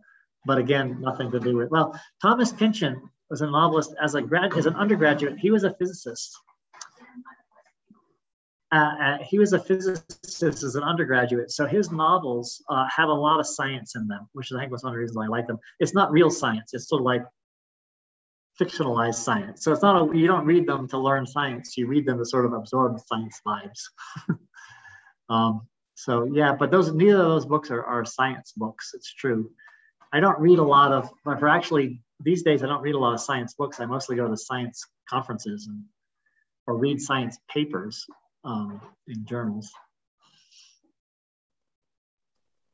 Um, what cooling mechanisms did you use to achieve such low temperatures in your experiments? Uh, something called laser cooling. Basically, the force of the laser. Uh, we think of, okay, uh, laser light comes broken up, broken up into photons, little particles of light, and we think of the particles of light as containing like sort of packages of pure energy, and they are, but they also carry momentum. So if you have a laser beam hitting the side of your face, your side of your face will warm up, but you'll also feel a sort of push. You probably won't feel a push because the push is really small. And uh, you might think that's because the photons are, are really small, but actually the real reason is because your head is, is too fat. You need something small. I don't mean to call you a fat head. I'm just sort of saying that you need something reasonable size, like an atom or a molecule. Um, and if a photon bounces off an atom molecule, the molecule actually changes its velocity a little bit. If you bounce one, one infrared photon off one rubidium atom, after the photon is bounced off, the rubidium atom's speed has changed by about half a centimeter per second. And you can bounce thousands of photons per second off a rubidium atom. So you can change its speed by uh, like a thousand meters per second so that uh, it's the you know the acceleration is hundreds or thousands of times the acceleration of gravity, and you can using the amazing control you have lasers, you can use that force to slow atoms down instead of speeding them up. And of course, if you have a collection of atoms, the slower they move, the colder they are. So slowing atoms down is pretty much the same as refrigerating atoms. It's kind of as if the way, imagine the way your refrigerator worked is like inside your refrigerator, this is a little robot hand and it reached and grabbed each each molecule of air and slowed it down a little bit and let go, grabbed another molecule, slowed it down, and let go. If it kept doing that, eventually the air inside your, your refrigerator would get very cold. It would be hard to do because there's lots of molecules and they're going very fast. But um, using laser beams, you can do essentially that. So laser cooling was one source of cooling. Another call was called evaporative cooling. The atoms, like a lot of things, are, are like little magnetic dipoles, a north pole and a south pole. And we can have big loops of wire and we can use the loop, these loops of wire to create a magnetic field that traps the molecules in a little volume in 3D space. And they zoom around and the hottest ones can come up and over the edge of the magnetic field. We call that evaporation. So basically the, we, the atoms are zooming around, the most energetic ones escape the little magnetic bulb we're holding them in and the ones remaining have lower energy per particle, which is again, kind of like cooler, right? Lower energy per particle. And uh, so those two techniques, laser cooling and evapor cooling, are the, the basically how we got things very cold.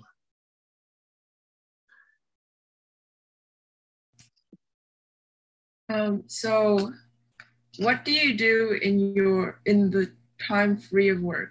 Or what do you do in your free time? In other words, what are your hobbies from science? Uh, well, uh, I live, uh, if, if I were to go out straight out that way onto the street and turn right, I live about four blocks from the mountains and I like to go running in the mountains. Uh, I run because of my missing arm. I run in this very sort of asymmetrical way. It's more like I go up, but I go up, up and down the trails with a couple a couple other old guys several mornings a week. So that's one thing I like to do. Go running in the mountains. Beautiful, beautiful and, and good exercise. Uh, I like to read. I read a lot. I read novels. Um, you know, helps, helps with your creativity, I think, plus it's just fun. I work crossword puzzles. Uh, I, I, like to play competitive bridge. Um, back when I was trying to uh, to uh, court my wife, trying to convince her that I was a real prospect, uh, she was a very good bridge player, and I realized that if I was going to get anywhere, I had to step up my game, and so I did over time. Uh, and we sometimes, uh, not so recently, but we used to go out to to the clubs, you know, uh, where you compete against other people, uh, and it's very very intense and competitive and and not not fully fun, you know, in the way that some some sort of intense competitions can be, but still exciting. Um, I'm still not as good a bridge player as she is, but she tolerates me because I've got other good features. Maybe. Uh, then the next question is, uh, what is your favorite math paradox and why? Favorite math paradox? Um, well, my favorite my favorite math proof is that there's an infinite number of primes. And there's um, my favorite math paradox. Um, I don't know if I have a favorite math paradox. I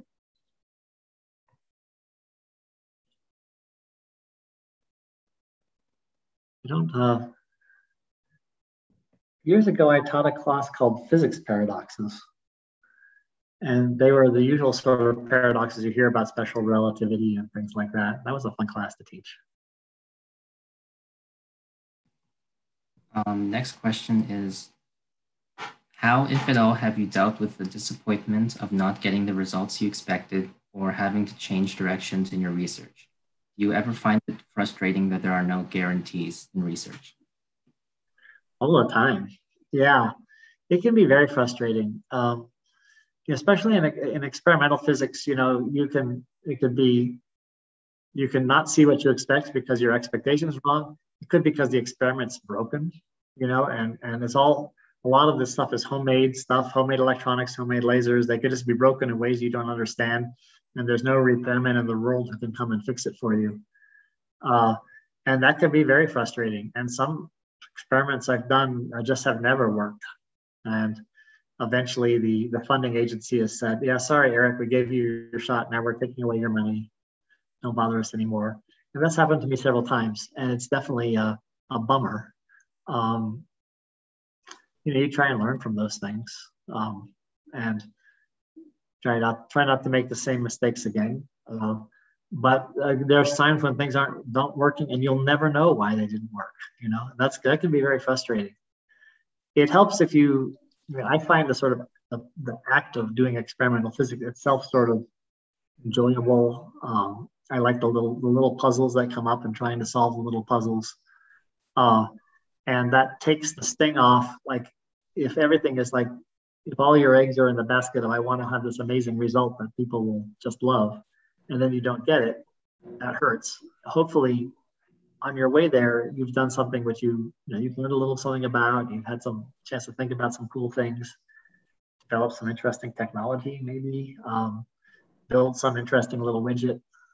Um, so maybe the idea is just like don't hope to get all of your your reward, your self-validation, whatever it is, the, the serotonin, whatever it is that makes your mind go bling, things are good.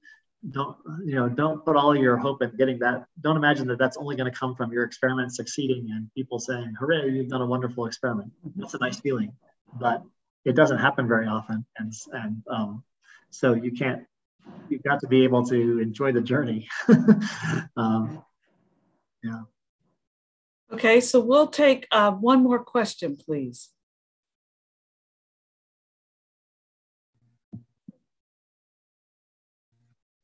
Um, geez, I'm trying to choose between these. I guess, um, I guess we can combine two of these. So, have you ever had a situation when you wanted to quit science, and how have you dealt with it? Slash, what is your biggest regret? Okay, well, I definitely have had occasions when I wanted to quit science. Um, I would say that uh, for me, the sort of low point of my career was like my first year or two as being as an assistant professor. It was very difficult. I was having to write grant proposals. I was having to teach much more than I was used to teaching. Uh, my I was having to hire graduate students, and which I was not something I particularly knew what to do. Everything was all suddenly on me. It was a lot of stress. I would say that the first couple of years of being an assistant professor were kind of unpleasant. And I thought about punting. Yeah, for sure. Uh, you know, several people said, you know, Eric, you should tough it out. It's gonna be, it's gonna get better, and uh, things are, you know, you know, you're making some progress. Uh, just, you know, give us a little more time. And that was good advice. Um, but I definitely thought about it. But but also, I, yeah, so that's definitely the case. Um, it helps to have, you know, mentors. I, I think I've always been fortunate to have good mentors, you know, people who have cared about me and, and uh, wanted to see me do well um, and had good advice. And there's another question. Biggest disappointment was that was that a question? Uh, or biggest regret? Biggest regret. Uh, uh, you know, there was a Carl and I took some data in the like late 1990s, uh, well, right around 2000 or something like that. This is not really like a bitter, oh, woe is me regret, but we saw something a little weird in the data and uh, it wasn't really where we're going and we just let it slide. And later it turned out that there was something, it was a big deal. Um, like we almost if we had spent like you know another month looking at that, we would have discovered something that somebody else got to discover. Uh, and uh, so I was kind of sad about that. I thought, geez, if I could go back in time, I'd say that little wiggle there, it's more important than you think. um, but you know, there's not a particular moral to the story. There's not a moral that says like you need to stare at every single wiggle because most little wiggles are just little wiggles. You know, you you can't. It's also if you if you just like say oh every I gotta like track down every loose thread, you end up just pulling on every loose thread until your until your sweater unravels. You know, you have to keep in mind it's like some uh, big picture also balance the looking at the little threads with some big picture goal you've got. And I think by and large, I've done okay at that. Every once in a while, I say, yeah, I could have made a different call there.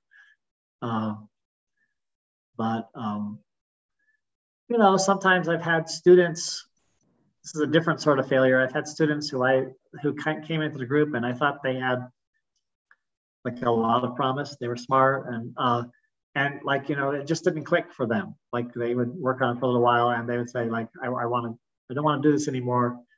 And they would leave and it's not the end of the world. It's like, okay, they tried it for a couple years and it didn't work out. That happens. But I also sort of thought like, maybe I could have been a better advisor. Maybe I could have like made that experience more more fun, more rewarding, or something like that. Uh, figured out what it was that, what sort of roadblock it was that was getting in their way.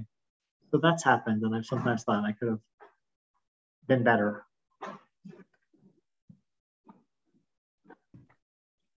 Well, Dr. Cornell, we certainly appreciate your time today. It's been very fun listening to you. Um, everybody, would you like to say thank you um, with a virtual or hand applause, please? And we'll tell you thank you from SSP for your time and expertise. We really appreciate it. And at this time, the participants are dismissed to head off to their learning blocks. So thank Hi, you. Everybody. Have a Thank good you. learning. Thank block. you. Thank you. so much. Thank you. Thank you. Thank you. Thank you so much. Mhm. Well, I appreciate you giving me my my student quote of the day. That's why I accidentally hit that recording button. I had written down something you said and then had put it right here on top of my laptop.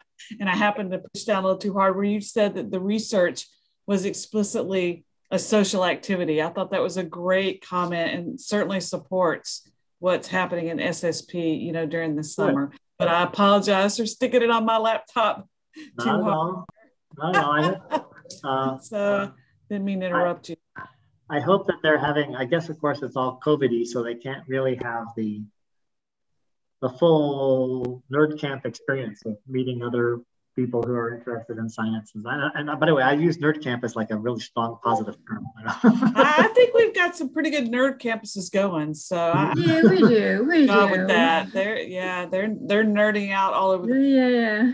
yeah, they happen to be on Zoom, but I think mm-hmm. they did last year too, and I think they're doing it again this year. They're having a, a great experience, we think, and but Everything we can do it certainly adds adds a lot to it. So Yeah.